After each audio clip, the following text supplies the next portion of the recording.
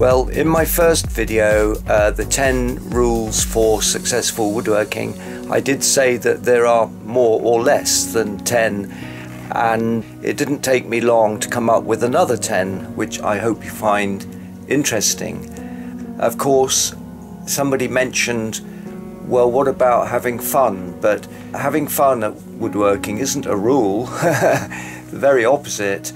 But the interesting thing is that in order to have fun, I really think you need to learn the rules first because they lead on to having fun. At any rate, let's kick off with the first one, which I've called Seeing the Wood for Trees. And by that I mean that to be successful, you have to focus on what you're doing. But if you focus too closely, there's a chance you will fail to anticipate what you should do next. So because woodworking is generally multi-faceted or multi-skilled, you know, you're you're juggling with various processes that have to be done in a certain order, you really do have to balance, as I say, the focusing of your attention and the ability to anticipate. And of course, that ability to anticipate could also be called insight, and insight comes with experience usually. So, the second one, and there's no priority, is use a notepad or a sketch pad. You know, what you're doing when you're woodworking is using your head and your hands, and often there are checklists that you've got to memorize. Um, if you don't have a notepad and you're in the workshop, I often use a scrap of wood and write things down, such as the tools that I've got to use or the measurements of something. And of course, if you're designing, which really is problem solving, then you're going to be using a notepad or a sketch pad all the time. So I think drawing and sketching and taking notes is, is a tool that is part of the vocabulary of successful woodworking. Number three is understand how wood behaves. And basically, wood shrinks and expands across the grain. It doesn't really shrink or expand lengthwise, but it is sensitive to moisture. And in fact, if you look at wood as being a sponge, you'll understand that it absorbs and loses moisture. And the moisture content generally should be very generally around 10%. But when you're making things in wood, it's worth just respecting how the wood wants to behave. And some woods, for instance, Parana pine, if you're sawing that, it will close up on the saw. And some mahoganies are like this, that the stresses within the wood uh, that happened while the tree was growing uh, are manifest when you start using tools. And of course, we all know that hardwoods are generally denser, but then balsa wood is a hardwood and it's about the softest wood on this planet. And pitch pine is a soft wood, and that's very hard. So understand material, understand wood, understand how it behaves.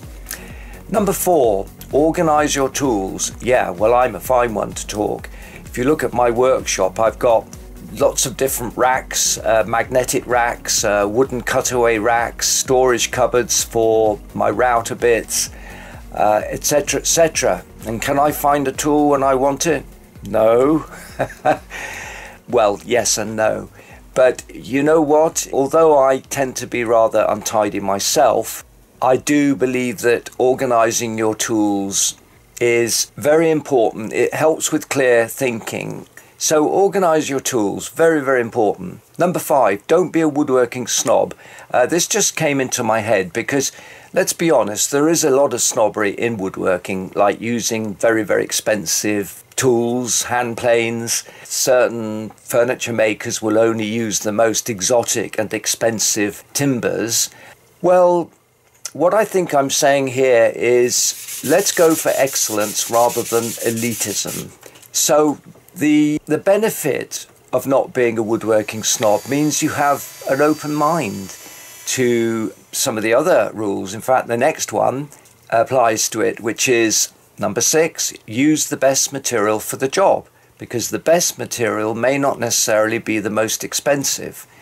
So if you're making, say, a window box to grow uh, flowers, then you're not going to use rosewood. You'll probably use a pine. And number seven, use the most appropriate construction. We could use the same example of a window box that uh, you wouldn't use dovetails on. You'd probably use butt joints and nail the box together. So that's always worth considering. Use the most appropriate construction, and there's a huge vocabulary of joints, mortise and tenons, dovetails, housing joints, routed joints, uh, halving joints, etc., etc. Number eight, use the most appropriate finish and I might add, or use no finish at all. And such is uh, the Danish tradition of just using a soap and allowing natural dirt, if you like, over a period of years to create a kind of patina. But finish really is important, and of course, there are lacquers, there are water based varnishes, there are oils.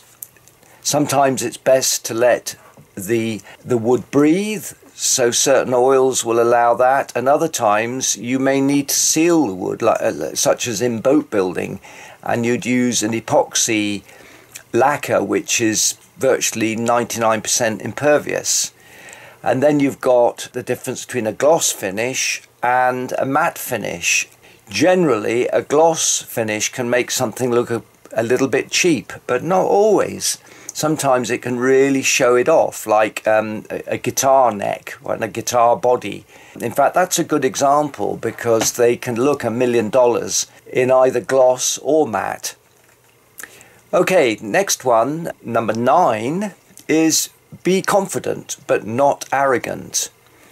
And I say that because I, I, do believe that confidence is very important at whatever you're doing, whether you're an ice skater or a musician or a woodworker. But don't be arrogant because the arrogance can actually lead to accidents in the workshop. So, confidence I mean, how do you get confidence? I think one of the things is to try and find it within yourself and not listen too much to other people. I mean, here am I saying that when I'm delivering all these rules to you. But it, it's a tricky one. I mean, may, maybe people are born with confidence. I know in my own case, I've had to earn my confidence uh, the hard way in just about everything I, I do.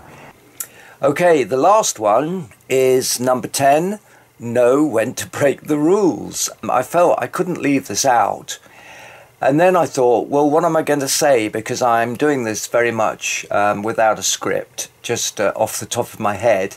And there must be instances where you do break the rules because you know that it's well known that you need to know the rules before you can break them and this applies so often and there are examples of design which break all the rules but the the design looks fantastic now they're rare so i have uh, put this as number 10 the last rule because I, I think it's it, it's something to bear in mind that when you know what the rules are, then um, you've got permission to break them.